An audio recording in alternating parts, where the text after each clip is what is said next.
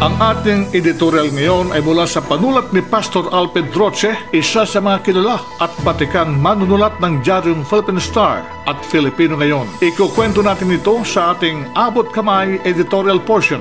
Ganito ang nilalaman ng sinulat ni Katotong Alfred Roche na may pamagat na kapag inalis ang BRP Sierra Madre. Bagaman at bulok at kalawangin na ang barkong BRP Sierra Madre, ito ay pinanatili sa Ayungin Shoal na may mga nakatalagang tauhan ng ating militar upang bantayan ang ating soberenya sa West Philippine Sea. Subalit, sa patuloy na pambubuli ng China sa mga tauhan ng ating Coast Guard upang igit ang kanilang pag-angkin sa karagatang saklaw ng ating exclusive economic zone, pinangangambahang darating ang puntong sa pilitang aalisin ng mga enchik ang naturang barko. Ano kaya ang magiging reaksyon ng Pangulong Bongbong Marcos kapag nangyari ang senaryo na ito? Mananatili kaya ang pambansang pulisya niya ng Pilipinas ay kaibigan ng lahat at wala tayong bansang kalaban? Oo nga, ayaw nating magkaroon ng kaaway. Ngunit papaano kung ang China ang kumakalaban sa atin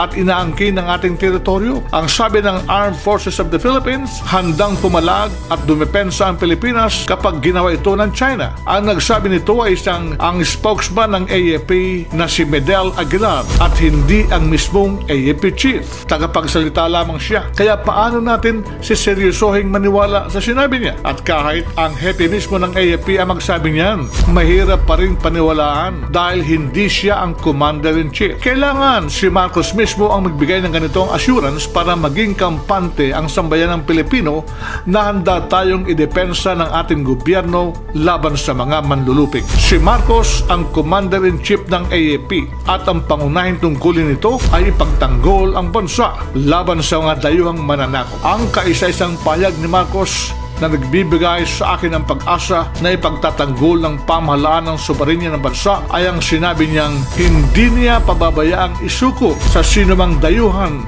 kahit isang pulgada ng ating teritoryo. Umaasa akong panindigan ng Pangulo ang mahalagang pahayag na yan. Hanggang ngayon, wala pang pahayag ang Malacanang hinggil sa nilalaman ng pag-uusap ni na dating Pangulong Duterte at China China President Xi Jinping. Magugunita na nakipagpulong na kay Marcos si Duterte at inihayag ang nilalaman ng kanyang pakikipagpulong sa Chinese President. Gaya ng nasabi ko na noon, dapat ibunyag ng palasyo ang nilalaman ng pag-uusap na nabanggit para mawala ang agam-agam ng mga Pilipino na baka nga ibinenta na ni Duterte sa China ang soberenya ng Pilipinas. Hari nawang gampanan ng wasto ni Marcos ang kanyang pagiging commander-in-chief ng AFP dahil kung hindi, baka isang araw ay magising tayo sa pamamahala, pamamahala na ng isang commander-in-chief. Ito ang kabuuan ng artikulo at opinyon ng aking katotong Pastor Al Pedroche, ang kolumnista ng Philippine Star at Filipino ngayon.